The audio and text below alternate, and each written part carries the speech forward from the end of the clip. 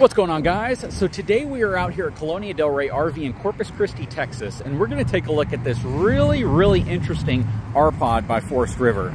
I mean, check this thing out. This is a new 2024 model, and there's a lot to look at. Hang tight, I'll be right back.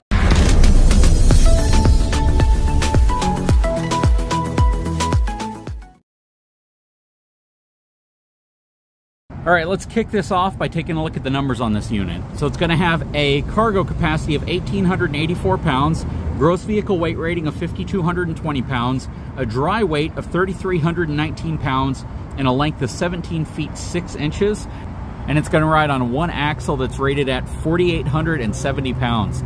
These are some odd ratings that they're putting on axles these days. Whatever happened to like the 5,000 pound rated axle? We're going to take a look inside of this unit and then we'll come back out. But before we look inside, let me show you what's going on here. Check out this CURT suspension that is on this unit. This is really cool. And, you know, for those of you who are looking at the RV industry as like everything coming out of Elkhart, everything coming out of Indiana is junk, you got to see stuff like this because this is absolutely not a junk suspension. They're doing a lot of good things here, a lot of really, really thick, heavy gauge steel, and they're putting it on a mainstream brand. They're putting it on a Forest River R-Pod, which is a very popular brand. So it's cool to see this type of technology making its way in the industry onto more mainstream products. Anyways, let's hop inside of this unit and we'll come come back out. So as we come around, you can kind of see the suspension here again, stabilization jacks.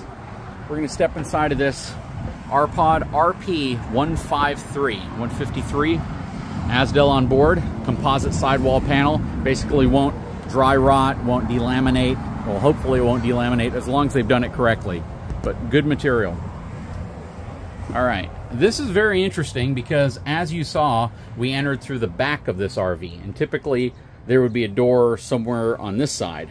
So this is going to be a very different type of floor plan and one that probably most people haven't seen before.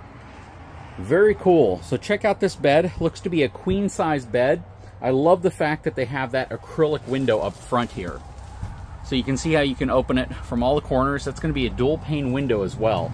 But it is great to see these acrylic style windows making their way onto US manufactured products. You're starting to see that a lot in the overland community, and I'm sure this R-Pod is kind of the mainstream brand that's there to kind of compete against that.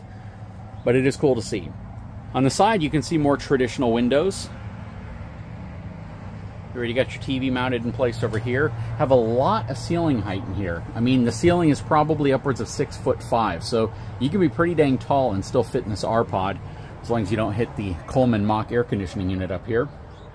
Now, one criticism that I have against this unit so far is the fact that they are using pleated blinds to me, this doesn't make a heck of a lot of sense considering they have an upgraded acrylic window, they have the upgraded suspension. If you want to black this unit out, you don't really have the means of doing it. These are only going to provide like a fair amount of, of shade, but it's not really going to block all the light out completely. But this is definitely one of those areas I think they probably should have put a blackout blind here instead of a pleated blind. Okay, so as we look through here, this floor plan is really cool because it includes everything. It's very compact, yet you still have a bathroom, which we'll look at in a second. Here's the sink, one huge tinted dark stainless steel sink. Nice upgraded faucet here. I really love that copper tone that they use right here. You have a Suburban two burner gas cooktop. Let's look at the price because it's right here. So this has an MSRP of $41,398 and an asking price of $24,908, which, I mean, that's a huge discount. I mean, this is, in my opinion, a pretty dang fair price for this unit because of what you're getting. Solar on board. I don't know how much solar this is going to have, so we might have to look up top to see it. It'll probably be on the invoice here as well, so we'll take a look at that also.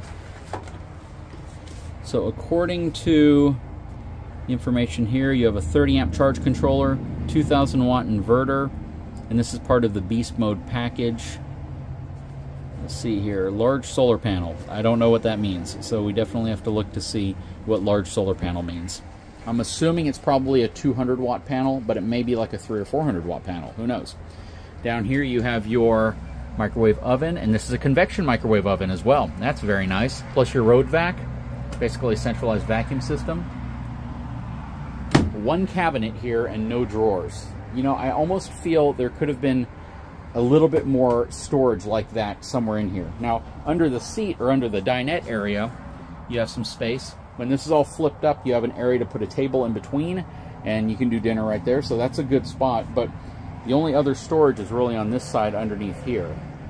And then you have some storage up here. So you have your cabinets up here. You know what? I would have preferred drawers right here. So just put like three drawers right there. And then this would have been all your cabinet storage. So this will convert into a bed pretty easily. Underneath it is just the seat area because your storage is right there. You have your fuses and breakers down there, and you have your Norcold 12 volt refrigerator right here. Nope, this is a gas electric refrigerator. So this is the Norcold Polar gas electric. Freezer up top. Over here, you have your bathroom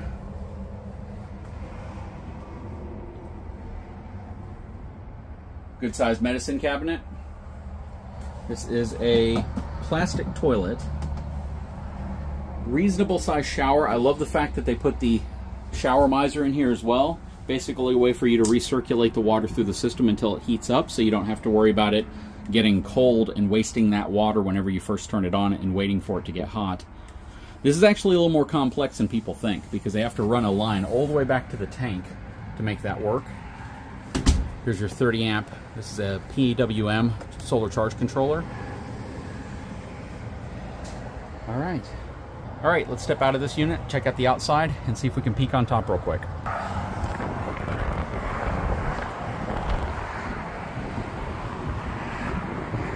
All right, so starting from the front, working our way back, we have a power front tongue jack. We have a spot for one 20 pound propane can, spot for two batteries up here. You have your power disconnect right here to prevent parasitic draws whenever it's in storage. And you have your TPMS, your tire pressure monitoring system booster right there. You have scissor jacks all the way around as well. Good solid pass-through storage. So you have a good amount of space in here. It's not terribly wide though, so you might have a little trouble fitting like wider chairs, things like that in. Again, Azdel sidewall construction. You have a spray port right here, 110 jack right here, this is going to be the outside of your furnace. This is going to be the back of your refrigerator. Tubular bumper to throw your sewer hose in. MORryde step above steps. LED lighting. It is wired for a Furrion wireless backup camera. This is going to be your 30 amp connection right here. Satellite connection out here. Black tank flush. Sewer drains. Really good looking wheels. These are going to be the Westlake tires. Not a bad tire. So this is a tire that's very common on off-road inspired RVs. Here's your water heater. This is where you fill your fresh water up. This is going to be your city water connection, and this is the other side of that pass-through storage. What do you guys think? This is a pretty cool compact unit. There's a lot of things I like about it.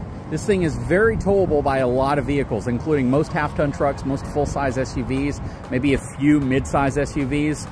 But this is definitely something a little bit more on the compact side, and it still gives you all your amenities. So you have a full kitchen, you have a full bathroom, full shower, as well as queen-size sleeping accommodations.